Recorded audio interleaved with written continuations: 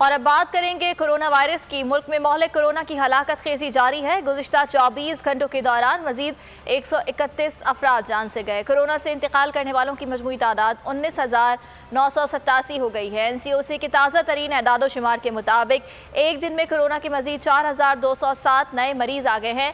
मुस्बत केसेस की शरह आठ आशारिया दो दो फ़ीसद रही। गुजशत चौबीस घंटे में मुल्क भर में इक्यावन हज़ार एक सौ तीस कोरोना टेस्ट किए गए।